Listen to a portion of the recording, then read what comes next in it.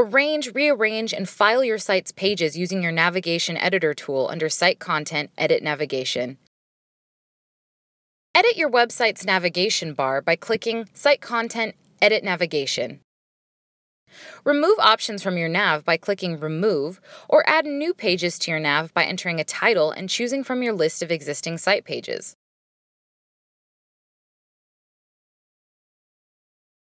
The highest title will appear on the leftmost space in your nav.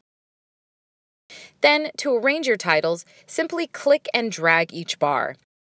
If you want to create a subsection, click a section and drag it beneath its main title until it rests in an indent.